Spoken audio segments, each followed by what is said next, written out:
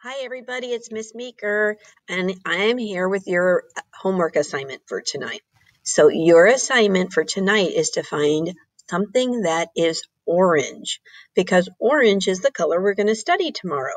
So, look around your house. It can be clothing, it could be a toy, it could be anything you find, even a picture you make. And so, when you're done, you can practice this tonight with your family saying what you brought. So, I'm going to show you what I want. First, I'm going to say my name, and then I'm going to tell you what I brought. So, I brought one, a big button that you can press. And I would say this Hi, I'm Miss Meeker. I brought a big button you can press. When you press down on it, it makes a sound like a dog. it's still working. And so when we're in school, I use this to get everybody's attention sometimes when they're pretty noisy. I'll just go like this. And then you can uh, stop what you're doing and you can listen to what I have to say. I hope you find something orange in your house that you'll like to share tomorrow.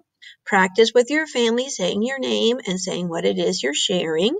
So, what your name is and, and telling us what it is you're sharing. Kind of said that twice. And then we'll share it tomorrow. It's at um, our meeting right after we do our morning routine. So have a good day, everybody. Have fun finding something that's orange, and I'll see you tomorrow at 8:30. Love you guys. Bye bye.